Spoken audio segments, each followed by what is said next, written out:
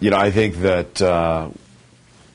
one of the other great aspects about being at Winship for my treatment and for my diagnosis and follow up now here in Atlanta is the fact that it is doing such an incredible job with providing uh, a much needed piece of cancer uh, care, and that is support services. Uh, from, as I mentioned earlier,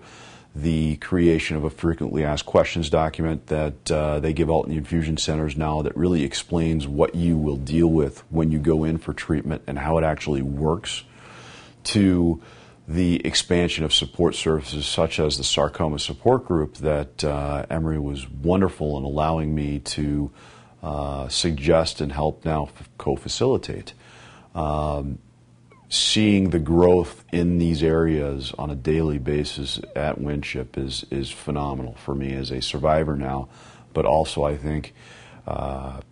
it's an excellent uh, opportunity to provide even better care for patients, regardless of their cancer types that come to Winship. And I'm very proud to say that uh, you know we have gotten a great uh, amount of acceptance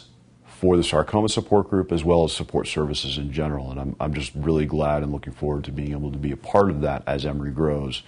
uh, and, and the days get uh, uh, more involved with things like that going forward. So.